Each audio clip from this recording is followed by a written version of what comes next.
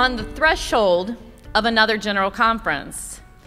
The world and the church have changed significantly.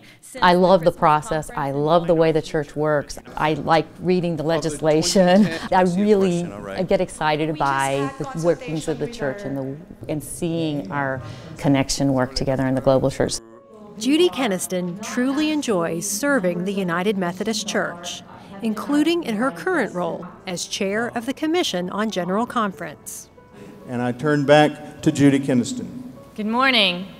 The Rules Committee worked late into the night. So when delegates from all over the world gather in Portland, Oregon in May of 2016, Kenaston will see eight years of work come together.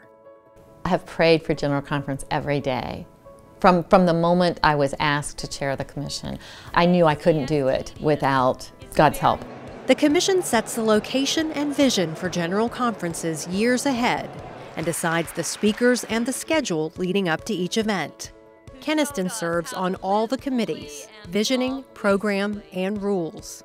The rules that we now consider are the labor of all of these people when a decision is made by the commission, it's my role to interpret that to, to the church. That's one of the, the challenges, how you do that and how you deal with the, the different spins that go out when, when a decision is made and then a group interprets it differently than we intended or reads a motivation into what we were doing that wasn't intended to be there. Kenaston works full time as the West Virginia Annual Conference Secretary, chairing the commission as a volunteer. 2016 will be her fourth time at General Conference, which over the years has become a family affair. Kenaston's husband and eldest daughter were also serving in Tampa in 2012. For this general conference, my husband's going to be a marshal, and um, our son, who is a global mission fellow, will be um, will be there in two capacities. One um, with the global ministry and the global missions fellows, and then he's also the reserve lay delegate from our annual conference. The family blogged from Tampa to give the folks at home a feel from the floor. I didn't talk about legislation so much, but more this is what I'm seeing, these are the people, these are the reports we're hearing. And it was my perspective, but I, that was my way of keeping them connected. Technology at General Conference has changed a lot since Kenaston was elected in 2008. The Commission has implemented major advancements like tablets and simultaneous translation to improve communication across many languages. We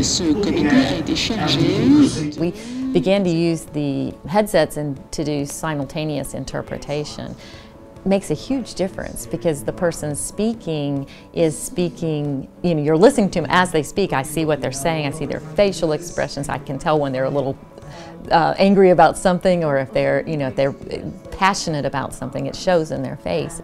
The commission member said, can't we do this at General Conference? I will go off the commission at the end of General Conference. Bishop, I move sections 11 through 13 the work that you do in that time is it is very intense and demanding, but it's also very rewarding, and I've I've really enjoyed it. I've had a wonderful opportunity to to serve the church in this way.